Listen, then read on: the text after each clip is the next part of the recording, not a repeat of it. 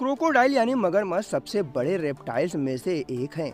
क्या आप जानते हैं मगरमच्छ जब किसी जानवर को खाता है या निगलता है तो मगरमच्छ रोता है?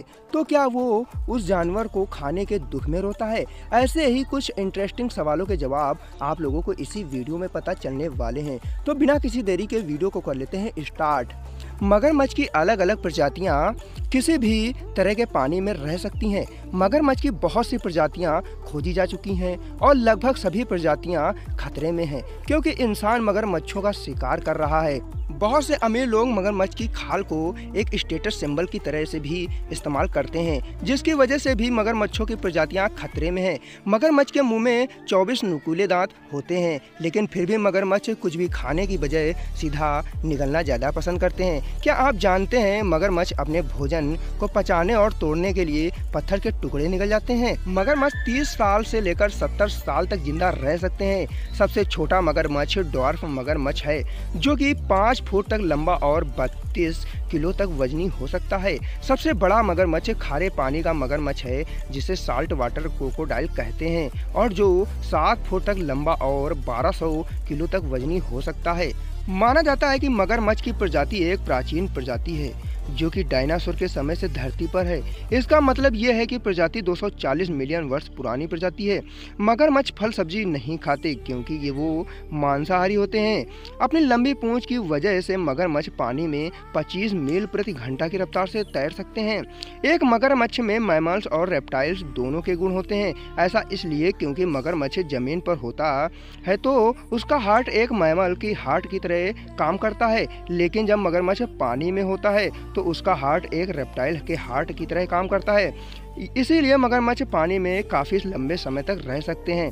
मगरमच्छ जब किसी जानवर को खाता है या निगलता है तो मगरमच्छ रोता है। ऐसा इसलिए होता है क्योंकि मगरमच्छ किसी जानवर को खाते हुए बहुत सी एयर निगल जाते हैं और ये एयर आँसू पैदा करने वाले लच रीमल ग्लैंड्स के संपर्क में आ जाती है, जिसकी वजह से आँसू निकलते हैं। 99 परसेंट मगरमच्छ के बच्चे जीवन के पहले साल में बड़ी मछलियों और छिपकलियों के द्वारा खा लिए जाते हैं। मादा मगरमच्छ एक समय में 10 से 60 अंडे देती है। मगरमच्छ अपने अंडे घोंसलों या होल्स में देते हैं और अंडे से निकलने वाले मगरमच्छ का लिंग घोंसले के तापमान पर निर्भर करता है। मगरमच्छ अपनी जेब ना तो हिला सकता है, ना ही मुँह बाहर निकाल सकता है।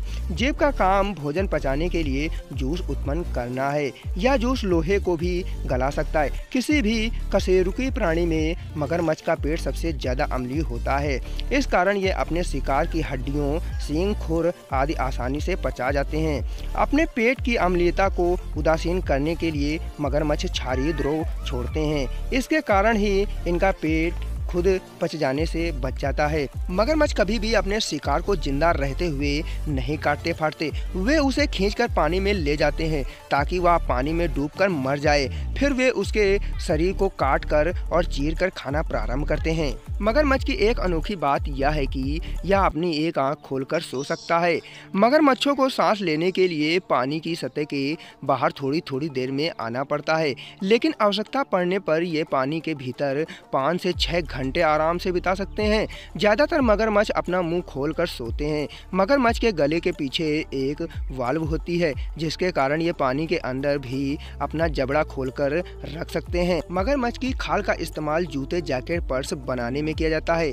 अंतर्राष्ट्रीय बाज़ार में मगरमच्छ के खाल से बने बैग्स और जैकेट की कीमत हज़ारों लाखों में होती है। मगरमच्छ के रक्त और पित्त की भी बहुत मांग अधिक है। इसका इस्तेमाल दवाइयाँ बनाने में होता है।